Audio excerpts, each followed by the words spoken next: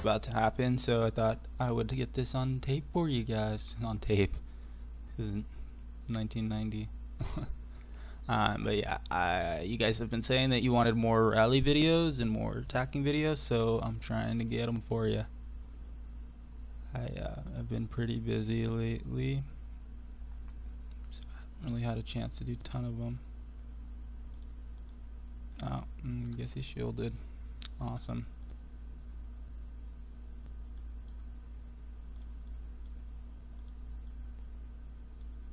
Well, that is unfortunate.